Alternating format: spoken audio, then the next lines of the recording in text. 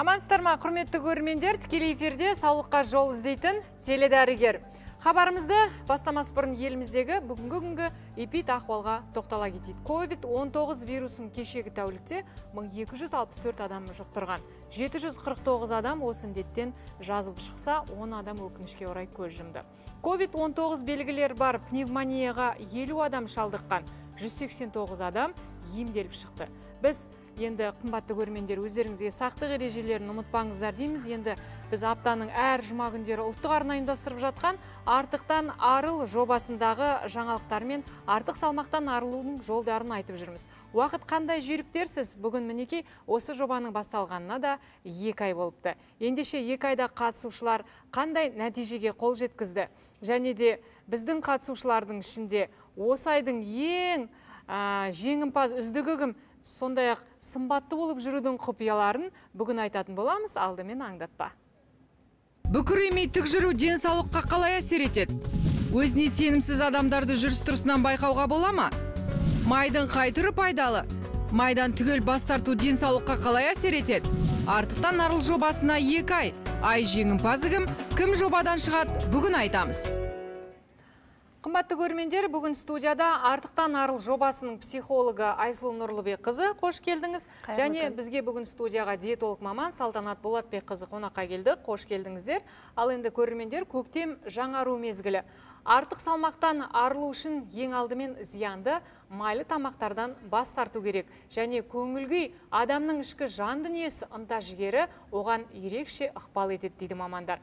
Ойымызды ағзамыздағы артық дүниелерден қалай арылтамыз? Біздің тілшіміз дайындаған бейне материалға кезек берейік артық салмақ пен семіздіктің ағзамызға денсаулығымызға тигізер әсерін біле тұра мән бермей жатамыз. Семіздіктің 5 пайызы тұқым қуалау немесе эндокриндік аурулардың әсерінен болады ал дұрыс тамақтанбаудың салдарынан адамдардың 95 пайызының дене бітімі мына құмыра секілді домалақ ірі болады артық салмақтың басты себебі күнделікті қозғалыстың аздығы және жартылай дайын тағамдар мен фастфуд өнімдерін көп тұтыну болып табылады. Сонымен қатар майға қуырылған тағам түрлерінің де ағзаға тигізер зияны көп. Тамақты майға қуырған кезде құрамындағы пайдалы заттардың барлығы бумен сыртқа ұшып кетеді де тамағымызда тек қана транс майлар қалады. Барлық фриді алып майын шығаратын болсақ біз 200 грамм фриден 50 миллиграмм транс майларды алдық. Бір бауырсақты жасау үшін біз адам ағзасына кері әсер ететін тағамдарды көп мөлшерде қостық. Бұл ағзада артық салмақтың пайда болуына және рак клеткаларын оятуға себепші болады. Ал бұл тағамдардан мүлде бас тарта алмайтындар үшін мамандар ингредиенттерді құнарлы өнімге алмастыруға кеңес береді. Мәселен жоғары сұрыпты ұнды бірінші сұрыпты ұнға маргаринді сары майға алмастырған жөн. Қара ұннан май қоспай тек сумен илеп пешке салып алсаңыздар болады. Артық салмағы бар адамдардың күйзеліске ұшырау ықтималдылығы жоғары дейді мамандар. Себебі өзіне деген сенімділікті жоғалтып сыни көзқарастар түрлі комплекстердің тууына себеп болады. Сондықтан мына қыш құмыра секілді сұлу да сымбатты болғаныңызды қаласаңыз дұрыс тамақтануды қазірден бастаңыз. Сұлу сымбатты әрі денсаулығыңыз мықты болсын десеңіз дұрыс тамақтануды қазірден бастайық. Иә салтанат ханым сіз де келісесіз ғой. иә. айсұлу ханым енді сіз артықтан арыл жобасының қатысушыларымен екі ай жұмыс жасап келесіз. Алғаш жобаға келген кезде осы толық қыз келіншектердің арасында өз өзіне сенбеушілік комплекс дейміз ғой иә? Осындай жағдайлар кездесті ме? Төмен бағалау өзін. Әрине кездесті біздің қатысушыларымыздың көбісі барлығы деп те айтсам болады айнаға да қарай алмайтын. Олар өз өздерін өз өздеріне сенбеушілік болды және де олар өз өздерін қабылдаған жоқ. Жақсы, жақсы көру туралы ойлаған да жоқ иә. Сосын осы екі ай бойына біз солармен бірге жұмыс жасап келе жатырмыз. А, жалпы мен артық салмағы бар адамдармен де жұмыс жасаймын артық салмағы жоқ адамдармен де жұмыс жасаймын. Не байқайсыз? Бірақ барлық артық салмағы бар адамдар адамдар өздерін жақсы көрмейді деген ол өтірік нәрсе. Өз өзіне өте сенімді өз өздерін кәдімгідей жақсы көретін әйел адамдар бар. Артық салмағымен бірге. Оның ең басты себебі ол ондай әйелдер өз өзін қабылдаған әйелдер. Бар болмысымен иә? бар болмысымен қабылдаған әйелдер. Тек қана өзін бар болмысымен қабылдаған әйел ғана өз өзін жақсы көре алады. Демек барлық нәрсе біздің миымызда. Біздің өзіміздің өзіміз туралы ойымыз қандай болады? Біздің өмірімізде сондай болады. Мысалы мына екі гүлге қарап көрейікші Иә. роза гүліне да? Біреуі раушан гүліне біреуі деген кәдімгідей құлпырып әдемі болып жайнап тұр да ал біреуі солып тұрған гүл. Мынау мен десе. Енді б- жалпы барлық ақындар барлық жазушылардың айтуы бойынша бұл әлемде әдемі емес әйел жоқ дейді Иә. барлық әйел адам әдемі. Тек қана өзін қабылдамайтын және жалқау әйел деп айтады да мысалы жалқау әйелдер болады дейді. А, егер де біз өз өзімізбен жұмыс жасамасақ егер де а, бір а, жақсы мынау сонда жалқау. Мынау жалқау әйел адам иә өз өзімен жұмыс жасағысы келмейтін тек өмірдегі барлық негативті нәрселерді көретін өзінде жоқ нәрселерді ғана көретін а, әйел адам осындай болады. Сұлып Сынағыш қалған иә? сынағыш келеді иә жалпы байқасаңыз өз өзін қабылдамаған әйел адамдар өз өзін жақсы көрмейтін әйел адамдар олар ешкімді де жақсы көре алмайды. Олар көбінесе сынағыш болып келеді. Біреу біреу ал туралы мына өсек- гүлдің мына гүлге айналуы мүмкін бе? Мүмкін. Иә. егер де біз өзімізбен жұмыс жа- жасасақ ең бастысы.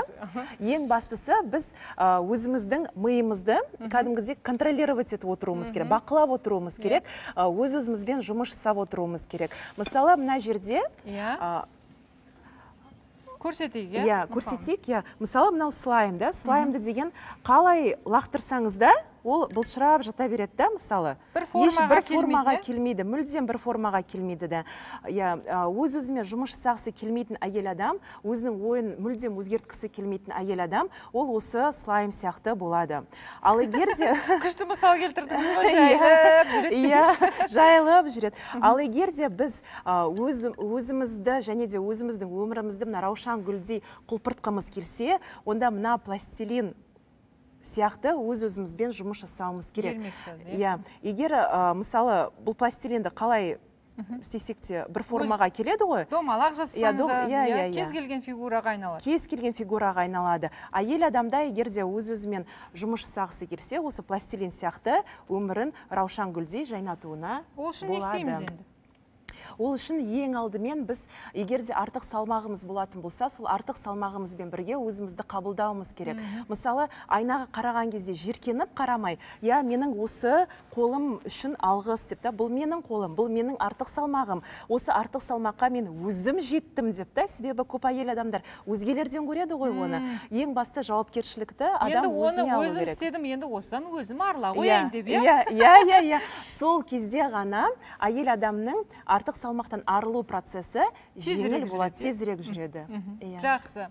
Иә енді мен салтанат болатбекқызын әңгімеге араластырғым келеді. Енді толық әйел толық адам өз өзін жақсы көру керек қабылдау керек деген дұрыс қой. Өзінің жан дүниесі тыныш болу үшін. Бірақ денсаулығына ол артық салмақтың зияны бар емес пе? Иә әрине. Ә, өзіңді қабылдау деген яғни менде артық салмақ бар болды. Мен енді өмір бойы артық салмақпен өмір сүремін емес. Артық салмағың бар болса иә артық салмағым бар ә, бауырды май басып тұр асқазан дұрыс жұмыс жасамай тұр. Демек мен өзімді қабылдадым.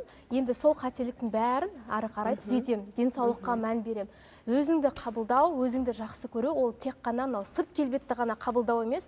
Сенің мынау көзге көрінбей тұрған ішкі ағзада не болып жатыр? Соны ретке келтіру мәселен шашың түсіп жатыр ма?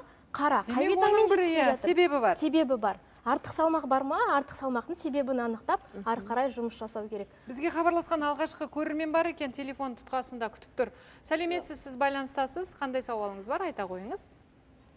Тыңдап тұрмыз сізді. Саламатсыз иә. Тікелей эфирдесіз. Аты жөніңіз кім? Мен сұрайын дегенім саламатсыздар ма мен сұрайын дегенім қазір менің жасым жиырма сегізде. Иә. Аманбай ақтөбе қаласынан звондап тұрмын. Аха. Айта қойыңыз аманбай қандай мәселе сізде? жасым жиырма сегізде мен салмағым өз возрастыма келмей жатыр салмақ қосқым қазіргі таңда мен бір. Дәрі ішіп жүрмін.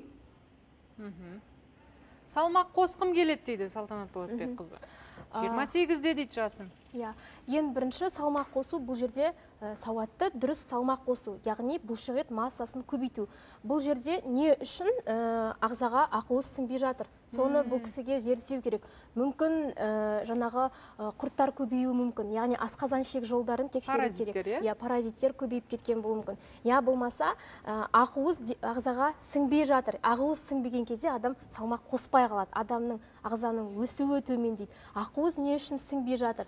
Ас қорытылу жүйесін барлығын тексеріп сонан кейін барып ақуыздың мөлшерін көбейтіп арнайы бұл кісіге рацион керек болады. Сонан кейін ә, жаңағы силовой тренировка дейміз.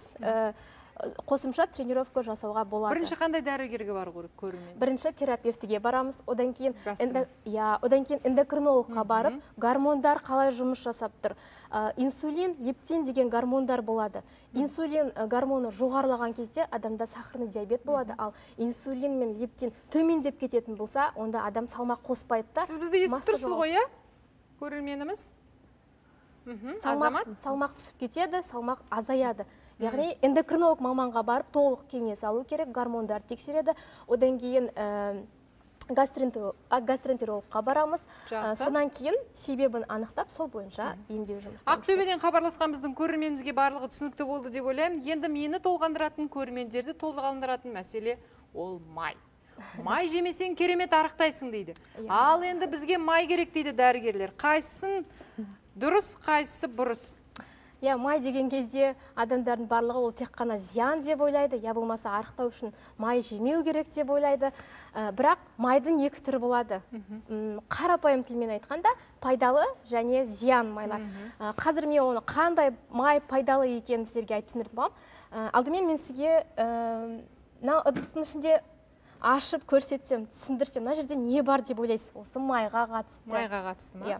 Майға қатысты. Кәдімгі сары май тоң май сондай нәрселер бар шығар енді жобамен сіз ә, дұрыс таптыңыз. Бұл жерде бізде үш түрлі май бар.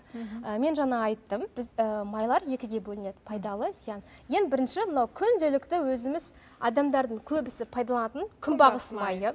одан кейін зәйтүн май тұр және де тұшытылған май. Енді бірінші күнбағыс майына тоқталайық. Әрбір әйел адамдар осыны естісе екен. Себебі ас үйдің егесі өзіміз болғандықтан ә, күнбағыс майын пайдалануға болмайды. Ә, бірден адамдар ойлауы мүмкін. күнде «Иә, тамақ істеп жүрмін ғой осы кезге дейін пайдаланып келдік. Бізге ешнәрсе болған жоқ деп барлығы айтуы мүмкін. Күнбағыс майының құрамында гексан деген улы зат болады. Ол бензиннің құрамында болады. Ол ә, медленный яд деп айтады. Ол асқаза- ә, ағзаға енді қайда пісіреміз тамақты? от- э, отыз қырық жасқа барған кезде барып уже зияны білінеді. Енді қазір айтамыз. А, бұл э, күнбағыс майының орнына тұшытылған май. Біздің кәдімгі тоң май ғой біздің ауылда тоң май дейді. Иә, осын бала кезде картопты да басқа тамақты иә. да осыған қуырып иә. жейтінбіз. Тұшытылған май я болмаса сары майды қазір топленый май деп айтады масло Иә. гхи деп айтады. Яғни осындай майларға тамақты қуыратын болса керісінше осы пайдалы майдың нормасын алады. Тамақты күнбағыс майына емес осындай тұшытылған майға ауыстырғандарыңыз дұрыс. Енді одан кейін бізде үшінші май бұл зәйтүн майы тазаланбаған зәйтүн майы. Зәйтүн майы пайдалы екенін біледі бірақ мен кейде байқаймын адамдар ә, күнбағыс майы зиян деп осындай зәйтүн майына тамақты қуырып жатады. Бұл болмайды, бірақ иә? болмайды. Тазаланбаған яғни нерафинированный майға тамақты қуыруға болмайды. Точка дымления деген болады. Яғни бұл ә, майлардың жаңағы қыздырған кездегі 90 жо- градустан иә, асса, иә? жоғары градуста қыздырған кезде құрамынан химиялық адам ағзасына зиянды бөліністер бөлінеді. Ол бізге тамақ арқылы ағзаға сіңеді. Және Сол- бұл майлардың сақталуында да бір ерекшеліктер бар иә секілді иә? ә, майды таңдаған кезде олар міндетті түрде стеклянный ыдыс. Ыд- иә шыны шыны ыдыста тұруы керек. Және оның түсі?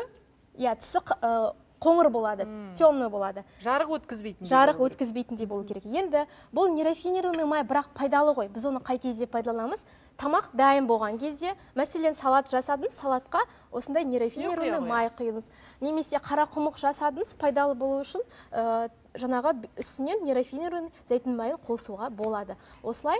Енді біздер мүлде майдан бас тартуға болмайды дедіңіз. Аха. жалпы күндік мөлшері қандай адамның енді мен ә, мына жерге түсіндірейін. Жалпы адамдарда мындай түсінік бар. Егер тамақтың калориясы жоғары болса ол зиян деп ойлайды. Бірақ мысалға біз бірінші ә, күнбағыс майын алайық. Иә. күнбағыс майының э, 100 граммында 900 калория бар. Ал енді тұшытылған май. Тұшытылған майдың 100 граммында 870 калория бар. Ал енді біз жаңа айттық тұшытылған майға тамақты қоруға болады дедік. Қарап тұрсаңыздар екеуінің калориясы шамалас. Иә. яғни тамақтардың калориясы ол тамақтың пайдалы не зиян екенін айтпайды. Калория ол жай ғана Қуат оның береді бізге. иә қуаты оның мөлшері ғана. Сондықтан ә, жаңағы тамақтарды таңдаған кезде де калориясы азын тамақтанайын осы пайдалы деп ойлау ол қате пікір.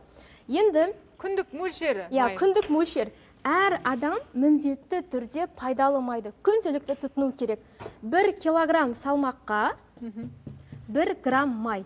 Күнделікті. Бұл демек біздің өзіңіздің салмағыңызды граммға ауыстырасыз. иә елу килограммдағы адам күніне елу грамм пайдалы май тұтынуы керек. Ол грек жаңғағында болады зәйтүн майында тұшытылған майларда. Яғни майды мүлдем шектеп тастауға болмайды бірақ пайдалы майды ә, пайдалануымыз керек. Енді ә, көп адамдар тамақты дұрыс дайындамайды иә зиянды тамақтар деп Иә, келе жатырмыз иә. майлы тамақты көп жейді. Енді ә, мен тіпті өзімнің туысқандарым да бар мен білемін өте майлы тамақты жейтін. Сізді тыңдайды ма? Ә, мені тыңдамайды. құлақ аспайды бірақ менің клиенттерім мені тыңдайды. Ол үшін адамға осознанность керек. Ә, мысалға 100 грамм майды егер артық тұтынатын болсаңыз бір күнде 900 калория дедік иә? Ал енді адам ә, мында жазайын. Өте 500. жақсы түсіндіріп жатсыз иә? Ә, 500 калория артық желінген майды ыдырату үшін адам Бізге? 6-10 километр жаяу жүру керек. Бір күнде жеп бір қойсаңыз күнде жеп қойсаңыз артық зиянды майды ыдырату үшін 10 километр жаяу бұл жай жүгіріс. Ә, жеңіл жүгіріс ешқандай жүгіру де емес. Ал енді өзі қазақ әйелдері жаңағы уақыт таппай жүргенде зиянды тамақты жеп күніне 10 километр ә, жүріп оны ыдыратқанша одан да күн алдын жайлап жинала береді бұл майларды иә иә иә сосын артықпен арылға келіп иә артық салмаққа әкеліп соғады бізге хабарласқан көрермен бар екен. Келесі тәрелкені ашпас бұрын сол кісінің сауалына кезек берейік. Сәлеметсіз бе тыңдап тұрмыз. А, саламатсыздар менің сұрағым диетологқа болады? Не интервальное голодание туралы сұрайын деп едім. Сол организмге пайдалы ма? Соны ұстау. Жақсы. Жалпы ашығудың түрлері өте көп бірақ бұл жердегі адамның ағзасының күйі өте маңызды. Бұл жерде бірінші гормондарды тексеру керек міндетті түрде асқазанды тексеру керек. Мәселен егер сізде инсулин гормоны төмен болатын болса интервальный голодание сізге болмайды. Оны дәрігермен кеңесу иә дәрігермен кеңесіп ол тек қана инсулин гормоны емес ағзаны толық тексеру керек. Ол әр адамға индивидуально. Егер де сіздің денсаулығыңызға сай келсе интервальный голодание ол өз пайдасын береді. Сізге түсінікті болды деп ойлаймыз қымбатты көрермен. Енді тікелей эфирде біз бағдарламамызды сәлден кейін жалғастыратын боламыз. Өйткені қазір бізде а екінші тәрелкені ашуға мүмкіндік бар. Мен түсінбей жатырмын ә, режиссерлардың бұйрығын жақсы ашайық. Ал енді екінші ыдыс ә, тағы мен сізден сұрағым келіп тұр. Гүлжазира ханым балалар бұл тағамға әуес. Ә, тіпті үлкендер де мен айтайыншы. Қандай? Картош- кар- картошка фри ма? Иә иә. Картошка фри дұрыс таптыңыздар. Ке- ең зиянды біздің келесі тағамыз ол картошка фри. Біріншіден ә, картошка фриді ә, бұл углевод углеводты мына күнбағыс майына қуырған кезде оның құрамында тек қана трансмай болады. Трансмай ол ағзада қорытылмайды ол ешқайда бармайды. Ойлаңызшы мынаны майды сонда ағзамызда тұрып қалады? тұрып қалады ешқайда бармайды. Яғни ә, бұл кәдімгі улы тағам деп айтуға болады. Егер де адам жиі осындай фриді тұтынатын болса анау трансмай у қанға сіңіп кетеді да адамда зависимость пищевой зависимость пайда болады байқайсыздар ма неге салтанат болатбекқызы кейбір аналар енді даладан емес үйден пісіріп берейін деп те жатады. Оның өзі де зиян иә? Әрине оның өзі зиян. Егер де ә, духовкаге дұрыс әдіспен дайындайтын болса ә, оның нұсқалары бар онда жеуге болады. Енді бұл трансмай ә, қанға сіңген кезде адам сол тамақты өздігінен іздей береді. Ә, сол себепті адамдарда осындай фастфуд сияқты өнімдерге тәуелділік бар. Екінші зияны ә, тұзды. Бұл фри біреу өз алдына тұзды. Осыны жесең шөлдеп тұрасың. Шөлдейсің ә, одан кейін тұрақты түрде пайдаланатын болсақ бізде ағзада мынандай құбылыс болады. Мынау екі стакан біздің ә, ағзамыз деп аламыз. Иә. мынау таза ағза. Ә, егер де адамның ағзасы таза болатын болса мынау су біздің ағзада еш ұсталмайды. Яғни клетка аралық сулар болмайды. Мәселен ә, сіз күніге суды ішесіз ә, ол зат алмасу процесіне қатысады сыртқа шығады қайтадан сіз оны орнын толықтырасыз. Тура осылай біздің ағзадан су шығады. Яғни денеде ешқандай ісіну болмайды. Ал енді ә, мынау ыдысқа біз мына тұзды саламыз. Мына жерде бізде тұз бар. Тұзды тағамды шамадан тыс тұтынған кезде мінекей біздің ағзада осындай процесс болады. Қазір сізге көрсетемін. Бұл бізге тәжірибенің қорытындысын қымбатты көрермендер а, біз қазір шағын үзілістен кейін Иә. білетін боламыз. Бұл ағзаға келіп түскен тұз біздің ағзамызға қаншалықты әсер ететінін қазір айтатын болады. Ал бізде қазір шағын үзіліс ұлттық арна қосулы болсын бұл теледәрігер. Тікелей эфирде саулыққа жол іздейтін теледәрігер бағдарламамыздың біз алғашқы бөлімінде көңіл күйдің өз өзіне сенбеушіліктің жаңағы адамның денсаулығына қалай әсерін майлардың қайсысы пайдалы қайсысы зиян екенін айттық. Сіз тәжірибеңізде келіп тоқтадыңыз. Біздер тұзды майлы тағам жеген кезде ағзамызға не болады мынау таза ағзамыз иә. ал енді адам күніне ә, 5 граммнан артық тұз пайдалануға болмайды. Біздің нормамыз 5 грамм ғана. Енді осындай тұзды тамақтарды жеген кезде біздің ағзада қараңыздар мынау мынау біздің ағзамыз қалды, иә? тұз ермейді. 1 грамм артық тұз ағзадағы 3 миллиграмм суды ұстайды. Анау міне ақпай қалады. Тура осылай біздің ағзамызға ә, тұздар жинала береді сосын сініп жүретін иә болып тұрмыз ғой иә сосын біз? ісінеміз біздің зат алмасу процесі бұзылады ал егер тұзды мөлшерімен пайдаланатын болсаңыздар су ол тура осылай біздің зат алмасу процесіне ағзаның тазалануына қанның тазалануына ә, көмектеседі сондықтан өз қолымыздан өз ағзамызға зиян жасамауымыз керек А, жақсы келесі мен тағы бір ә, эксперимент. Түсіндіргім келіп тұр. Барынша осы майлы тамақтың зиянын оқырмандарға түсіндіргім келеді. Жақсы. Мінекей мынау бізде асқазан Көрермендеріміз. көрермендеріңізге. Мінекей майлы тамақты ә, күнделікті жеген кезде жалпы мынау асқазанымызда тамақ 2-4 сағат аралығында қорытылып ары қарай шекке кету керек. Бірақ мынау біздің майлы тамағымыз. Мынау асқазан ғой енді. Иә асқазан мынау майлы тамағымыз. Мінекей майлы тамақтарды үздіксіз жеген кезде ол осылай біздің асқазанның әр бұрышында қалып кете береді. Яғни ә, ол көгереді. Тұрған тамақ Шіриді, иә? шіриді О, тура осылай шіриді ал енді ә, біз су ішеміз шай ішеміз кетпейді ма не онда? Кетпейді жоқ кетпейді. Енді мынау тамақ тұрып шірей берген сайын не істейді? Асқазанымызда ойық жаралар пайда болады. Гастрит пайда болады панкреатит пайда болады.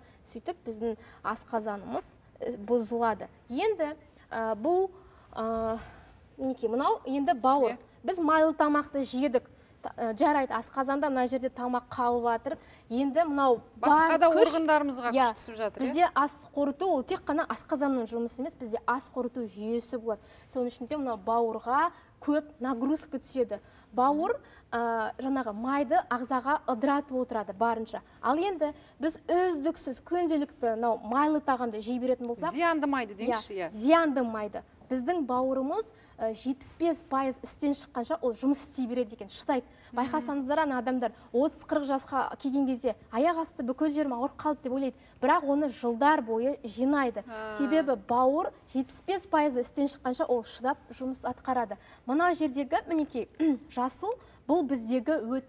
Ә, яғни бауыр ә, осы өтті бөледі. Біз мынау майды ыдырату үшін бізге осы өт көмектеседі. Ал енді бұл май қай кезде ыдырамай қалады? Мынау бауыр нагрузка түседі түседі да өт бауыр арқылы бөлінбей қалады. Сөйтеді да өтім толып қалды деп өтім жатамыз толып қалды дейді. Сосын жаңағы қазір д витаминінің өзін байқасаңыздар көп адамда жетіспейді. Неге? Себебі д витамині а витамині ол осындай пайдалы майдың көмегімен ағзада ериді сіз қанша бізге пайдалы май керек оны Пайдалы май денемізге сіңіру үшін иә? Пайдалы май жеген кезде ол ағзаға сіңу үшін бауыр өтті дұрыс бөлуі керек.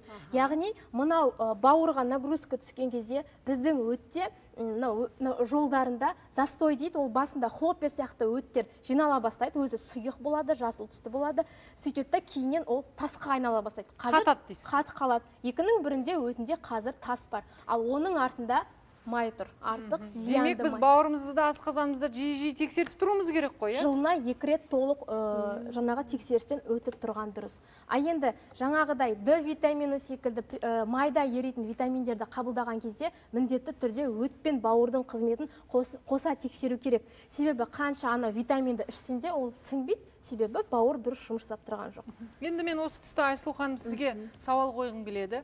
Біздің көңіл күйіміз болмаса осы ұнжырғамыз түсіп жүрсе бір тәтті майлы тойып жейтін тамақ іздеп кетеміз. Неге?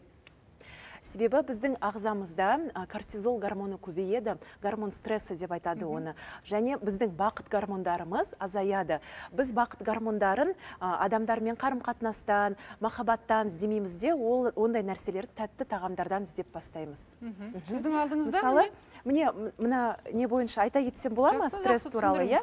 мысалы біздің өмірімізде көп эмоциялар бар да? Олардың ішінде жақсы эмоциялар да бар. Біз, және де біздің ағзамызға кері әсерін тигізетін эмоциялар бар. Мысалы ұрыс реніш ашу жалғыздық қызғаныш жиіркеншектік қорқыныш сезімдерінде үнемі жүретін адамдардың ағзасы стресске ұшырайды.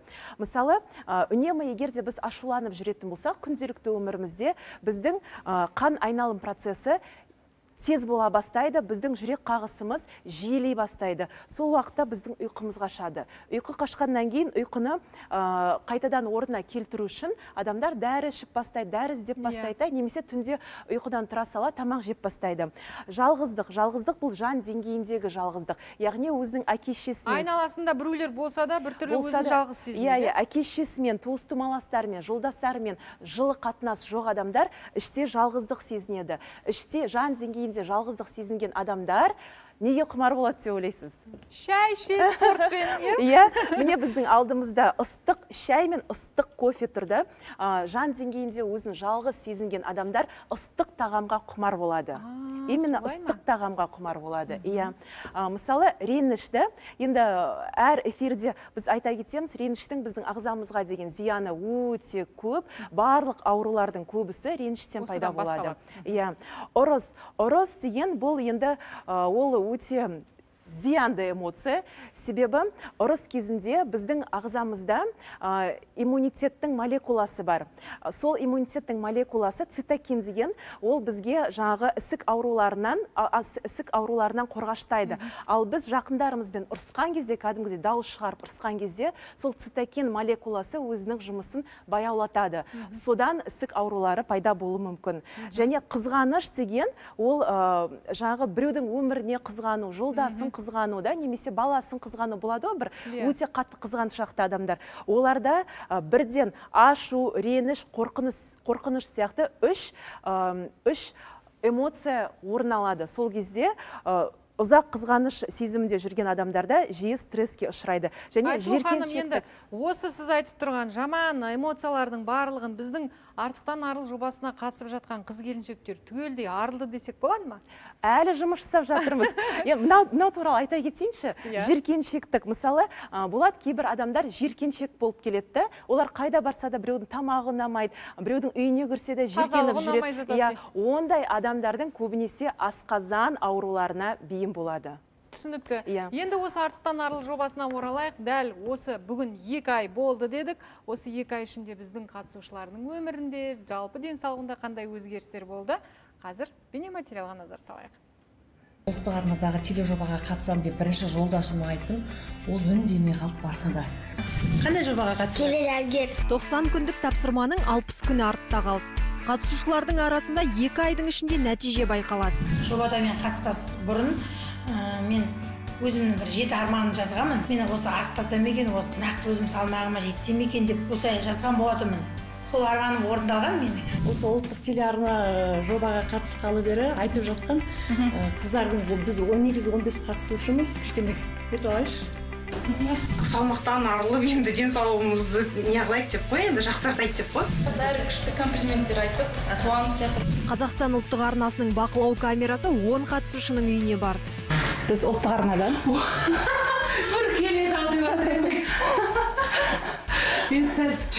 алуға жоқ мәссаған не ожидала? Енді біртүрлі ұялып тұрмын не айтарымды білмей тұрмын артықтан арыл тележобасы басталғалы қазақстанның әр өңірінен іріктелініп алынған. 15 қатысушының бесеуімен қош айтыстық. Көңіліме тиген болды. Ең бірінші болып мен осы жобада ескертіп алдым. Мынау маған эфирде қалай болып тұр білесіздер ғой да. Қолдардың бәрі тырысып тұр жейтін ғой көп жейтінмін қазір сіздің тарелкамен кәдімгідей тойып қаламын асқазанда да керемет результат болып жатыр. Білікті дәрігерлердің айтқанын орындау қатысушылар үшін оңайға соқпады. Мынау вообще нереально болып кетті ғой. Жегіміз кеп дегендей. Сырықтар адам баласы болған соң болады. Артықтан арылуға ұмтылған қатысушылардың талпынысы олардың жақындарына да септігін тигізуде. Ол кісі менімен 10 килограмм салмақ тастады ол военный. Көбінесе тұтынатынымыз жұмыртқа. Көкөністер шөппен дос болып жатырмыз міне анам арықтаған және бұрында бұрындағыдай майлы тағамдар жемейді. Қатысушылар арасында бір қадам ілгері басып белсенділік танытып жүргендердің арасында жібек қалиақперова мансия буданова динара жұмабекова арайлым болатбекова сәуле айтқалиева бар. Тапсырманы қорытындылауға аз ғана уақыт қалды. Әр қатысушыға жеңіс тілейміз. Аман есен осы үш айда дұрыстасақ деген ғана тілекпен иә күнделікті тапсырмаларды орындап ә, мысалға он қадам болса соны 15 қадамға дейін солай апарып кәдімгідей орындап жүрмін. Енді сөзім жоқ сөзім жоқ өте керемет маған өте қатты ұнап жатыр. Мінекей көңіл күйлері жақсы секілді. Айсұлу ханым енді бір ай уақыт қана қалды. Көзді ашып жұмғанша екі ай өтіп кетіпті. Қазір енді қалған он қатысушыда стресс болуы мүмкін бе? Өйткені мәреге жақындап қалдық қой. Әрі нәтиже көрсету керек әрі жүлделі орынға ие болу керек дегендей. Әртүрлі жағдай болуы мүмкін. А, дәл қазір біз қатысушыларымызбен осы стресспен жұмыс жасап жатырмыз. Ренішпен қоштасу техникасын бастадық. Бұл өте ә, терең техника. Ә, қазір енді барлығы барлық адамға деген өкпе реніштерін шығарып жатыр. Және де ә, осы нәрселерден мысалы біз құтылуымыз үшін біздің ағза бойымызда стресс болмау үшін өмірімізде стресс болмау үшін ең бірінші біз ә, жүрегімізді махаббатқа толтыруымыз керек. Ә, бір керемет сөз бар өзгені өзіңдей жақсы көр деген сөз бар. Сондықтан да біз ең алдымен өзімізді жақсы көріп өзімізді құрметтеп үйренуіміз керек. Ә, сосын екіншісі күлкі. Күлкі деген жалпы эндорфин гормоны прям не болады сыртқа шығады. 25 пайызға эндорфин гормоны көбейеді екен біз егер күлкіні жақсы көремін мен. Иә. Сол күлкі күлкіні көбейтіп жатырмыз. А, және де алғыс айту менің ең сүйікті техникам. Сіздікі алғыс айту менікі күлу иә. енді махаббатты тауып алу керек.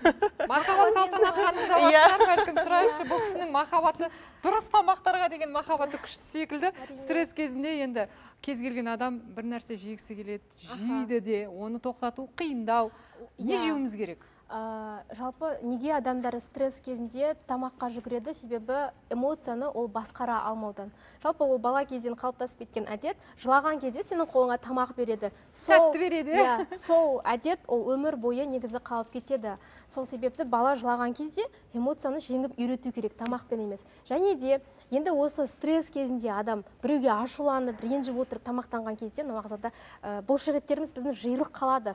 Спазма кәдімгі жиырылып қалады. А сосын ғой басымыз ауыратыны иә мүмкін. дәл сол біреуге қатты ренжіп отырып сіз тамақтансаңыз немесе уайымдап отырған кезде ұйқы безінен бізде инсулин деген гормон бөлінеді. Анау ә, глюкозаны қанға бір деңгейде ыдырату керек. Ал сіз осылай ашуланып отырып тамақты ішкен кезде анау ұйқы безінен ешқандай инсулин гормоны бөлінбейді. Сіз тамақ ішіп жатырсыз энергия ағзаға ә, тарамайды ә, қандағы қанттың деңгейі көтеріліп кетеді. Ал осы нәрсе тұрақты түрде қайталана берсе қант диабетінің екінші типі пайда болады. Ол да қазір дәлел. Ашуланып отырып тамақ ішуге болмайды иә қазір ә, тіпті кішкентай балалардың өзінде осы екінші типтегі қант диабеті өте көп. Сол себепті эмоцияны ә, тамақпен емес оны психологтармен жұмыс жасап басқа жолмен жеңіп үйрену керек. Сіздің Енді- үшінші тарелкеңізде не иә жазылды? менің үшінші тарелкам енді ә, біз тамақтар асқазанда тұрып қалды. Ә, майлы тамақты жеп жатырмыз бірақ лайфхак деп айтуға болады. Иә, қалай құтыламыз, иә, енді сол тамақтың тезірек қорытылуы үшін бізге көмекке көкөністер келеді. Көкөністердің құрамында клетчатка дейміз жасұнықтар болады. Яғни бұлар тамақтың қорытылып асқазанда ә, тамақтардың қалдығы қалмауға көмектеседі. Сондықтан жаңағы айтады күніне 300 грамм 400 грамм көкөніс жеңдер деп оның сыры осында. Асқазанымызда тамақтар қалып кетпес үшін ә, мынаны барып түсіріп келейінші мен бір екеуін әзірге бізге хабарласқан көрерменді қосайық. Сауалы бар дейді салтанат болатбекқызы. Сәлеметсіз тыңдап тұрмыз. Саламатсыз ба? Менің есімім айжан жаркент қаласынан хабарласып тұрмын. Мен тұзды жиі қолданамын және де құрдай жеймін 2014 жылдан бері. Құр өзін жегенді жақсы көремін. Осы зиянды әрекеттен қалай арылсам болады және зиянды жағын айтып берсеңіздер. Ненің құр өзін жеймін.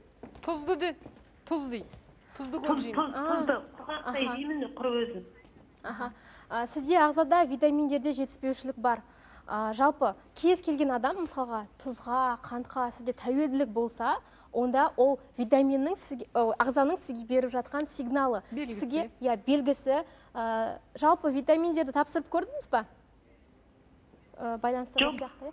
А, кальций тексер аха кальций д3 деңгейін. Және де скрытый анемия болған кезде де адамдар ащы тамаққа құмар болады. Ә, гемоглобин қалыпты болса да ферритин железо болады соларды тексеруіңіз керек Ә, және с витамині. Егер осылардан дефицит көрінбесе онда қалған витаминдерге көшесіз. Түсінікті ғой сізге айжан. Мен анемияда анемияда немін қаным аз қан аздықта демек бәрін ә, комплексті түрде Иә. емдеп дәрігерге тексерілу керек. Иә. жақсы хабарласқаныңызға рахмет. Енді ғалымдардың есебінше 32-40 пайыз жағдайда ауруға душар ететін бұл стресс екен және жан азабы сондай ақ ішкі конфликт қалғаны денсаулықтың нашарлаған- нашарлағаннан болады дейді. Бәрі бір бірімен өте тығыз байланысты дүние екен. Бүгінгі эфирден де түсініп жатқан шығарсыздар. Енді жадырап жүрсең жаныңда тыныш денің де сау деген сөз бар. Ал енді осы көрермендер сіздің біздің асыға күтетін артықтан арылдың бақылау камерасының кімнің үйіне барған және айдың жеңімпазын анықтайтын уақыт келді оны шағын үзілістен соң білетін боламыз.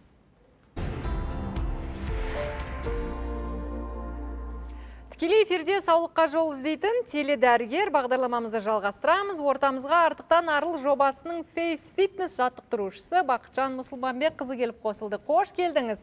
Енді жобаның басталғанына екі ай болды деп бағдарлама барысында айтып жатырмыз. Айсұлу нұрлыбекқызы бәріміз жобаға қатысушылардың ішінде жетістікке жетсе бірге қуанып жобадан біреу шығып кетеді десе уайымдап қалатынымыз жасырын емес. Енді қазір қалған 10 қатысушының ішінде кімнің үйіне бақылау камерасы бар екен? Қалай ойлайсыз? Жібек апай? Жоқ. Қазір көреміз кімнің үйіне барғанын. Қайырлы күн. Біз бүгін арайлым болатбекованың үйіне келдік. Әрине құр алақан емес сыйлығымыз бар.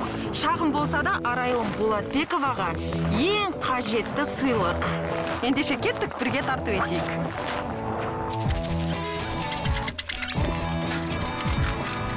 сәлеметсіз бе арайлым апайдың үйі ме екен? Біз ұлттық арнадан келдік. Ойбай тоқтай тұрмыз қалдарыңыз қалай? Айтпай кеттіңіздер ғой. Айтпай келдік. Оля саламатсыздар ма? Құдай күткенде күте күте уже келмейтін шығар деп ойлап едім ғой. Қалдарыңыз қалай? Маған аяқты түсірмей ақ қоясыз ба? Қандай мақсатта келгенімізді сізге айтпасақ та белгілі шығар иә. біз өзіміздің таразымызбен келдік енді өлшеп көрейік жетпіс бір көрсетіп тұр ғой енді арайлым біз білеміз сіз ә, байқауға қатысарда салмағыңыз сексен екі келі болған иә? 82 болған, он келі тастадыңыз яғни он негізі он екі килограмм кеше мен негізі аузым берік еді жетпіс килограмм болып тұрған бағана екі келі қосып жібердім дейсіз ғой қосып жібердім ба білмеймін или менікі басқаша көрсете ма сіздікімен бір өлшеп көрейік ендеше или үстіндегі киімім ба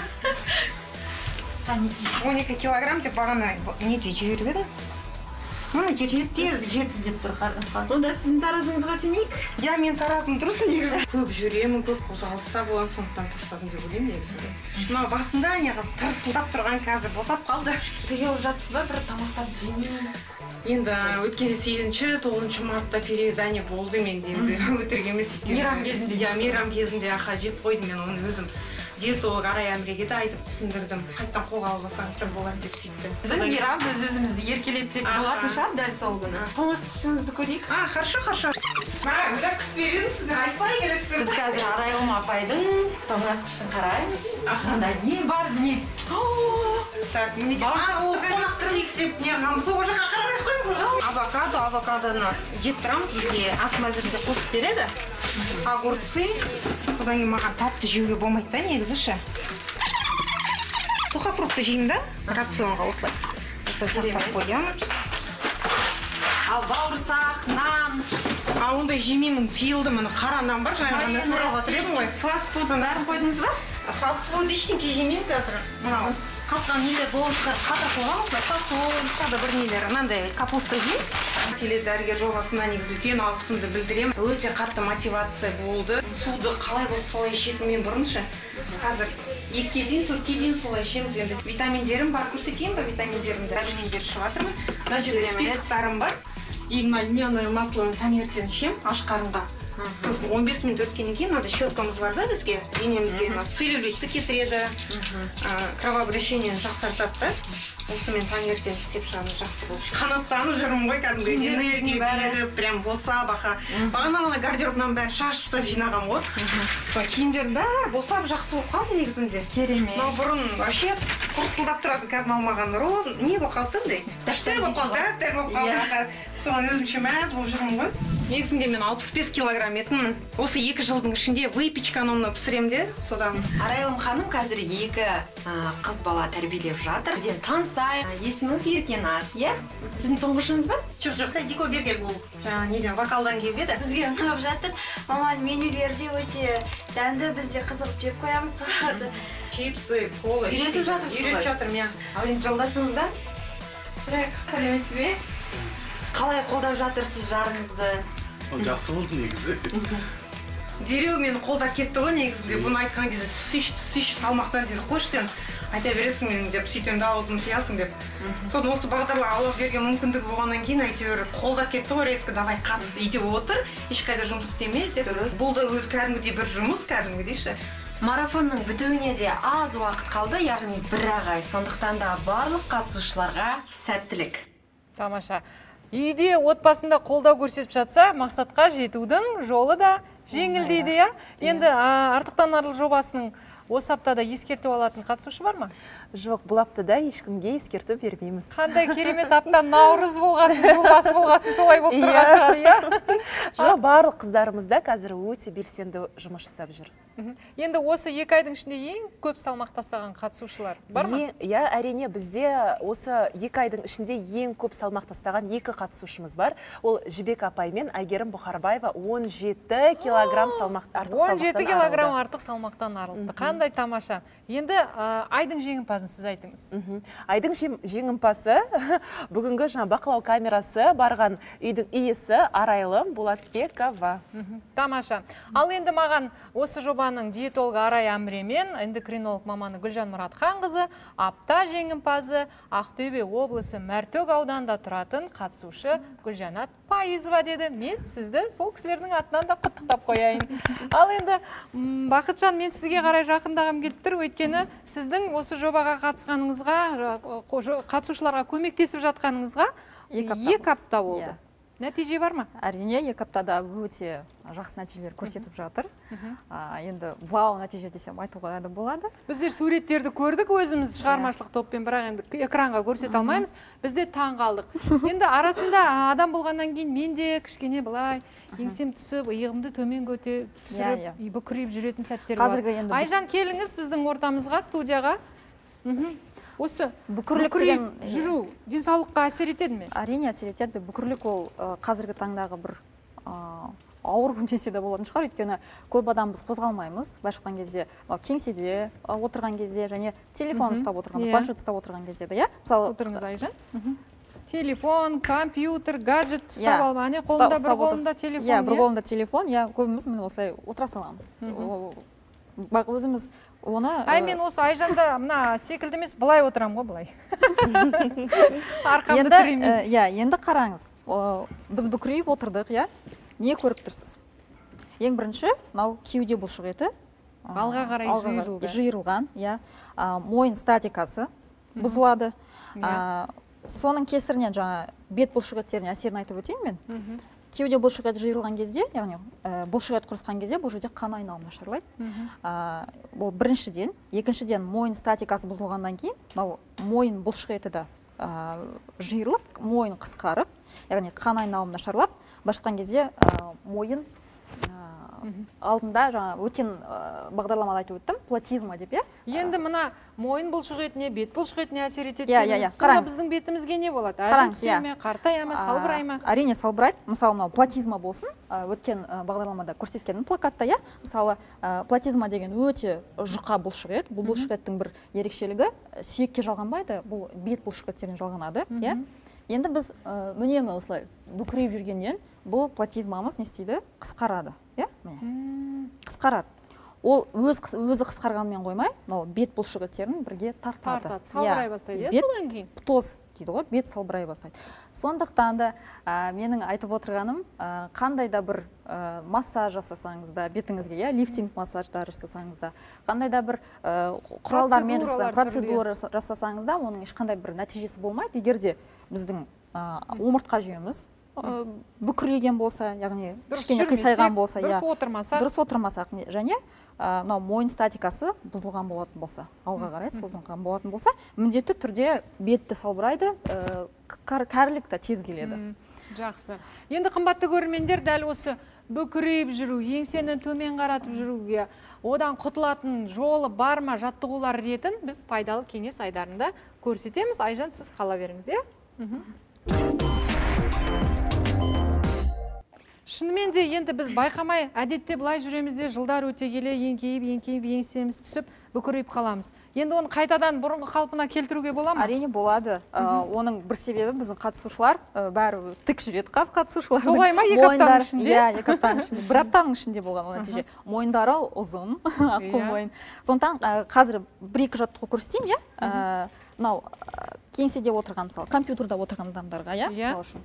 Ә, Келіңіз, бірге жасайық айжан. иә олар ә, залға бармайды. Уақыттары жоқ иә? Соның сол үшін кеңседе ғимаратта отырмыз ғой енді компьютерге шұқшиып. Иә ол үшін арқасы бар негізі орындық болған жақсы. Жақсы. Иә.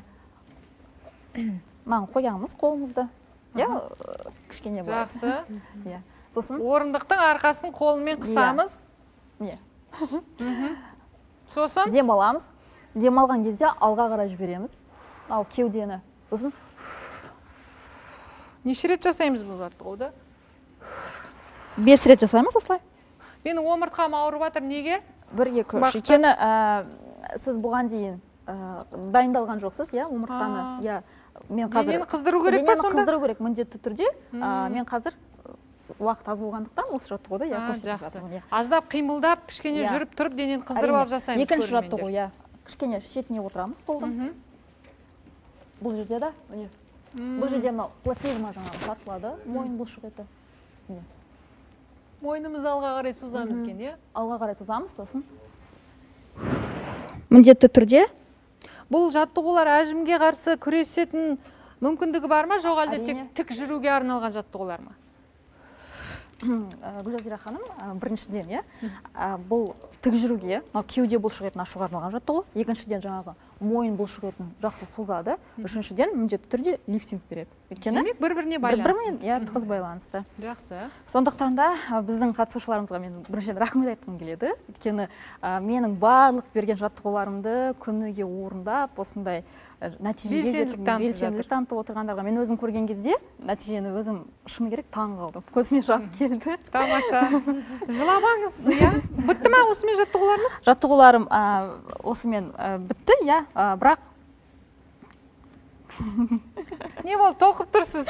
Толқып тұрмын жылағыңыз келіп тұр ма шынымен де нәтижелерге иә қарап? нәтижелер өте керемет онда сіз жоба біткен кезде осы студияда міндетті түрде жылайтын шығарсыз. Мен қазір өзім сөйлей алмай қалдым. Жалпы мен білетін тағы бір жаттығу көшеде жүрген кезде ақпараттарды оқыған кезде. Басыңда кітап тұрғанда елестетіп жүрсең үнемі тік жүресің дейді. Бұл да Иә. көмектеседі ме? Иә міндетті түрде көмектеседі. Өйткені үйден шығар кезде мен көп айтамын қыздарға ә, міндетті түрде ең бірінші мынау омыртқа жүйесін тіктеп шығыңыз. Сол кезде өзіңізге өзіңіз сенімді және ә, күніңіз де өте сондай бір байланысты керемет өтеді деп. Күннің керемет өтуі үшін сіз қандай жақсы кеңес айтасыз? Қысқа нұсқа айтыңызшы айсұлу күннің керемет өтуі үшін біз ең бірінші не істеуіміз керек? Ерінбей өзіміздің жақсы көретін біз немен айналысқанды жақсы көреміз соның списогін құрғанымыз абзал болады. Қазір әйелдер қалам ұстап бірдеңе жазуға өте қатты ерініп қалған. Сондықтан да өзіміздің жақсы көретін іс, істерімізді жазамыз. Мысалы сосын жақын құрбыңызға соғыңыз ә, сөйлесіңіз далаға шығып серуендеңіз міндетті түрде. Жақсы кино қараңыз да Ә, именно комедия түрін қарасаңыз болады. Сол кезде сіздің көңіліңіз кішкене болса да көтеріледі. Тамаша. Жақсы кеңестер қымбатты көрермендер біз бүгін өзіне сенімсіздіктің денсаулыққа қалай кері әсерін майдың пайдасы мен зиянын бүкірейіп жүруден құтылудың жолдары мен жан дүниенің жадырап жүрудің артықшылығын айттық. Артықтан арыл жобасының осы айдағы жеңімпазын тақырыпта жеңімпазын анықтадық. Пайдалы кеңестермен бөліскен дәрігерлерге мың алғыс. Хабардың толық нұсқасы ютуб желісіне жүктеледі. Денсаулықты күтейік артықтан арылайық. Аман болайық.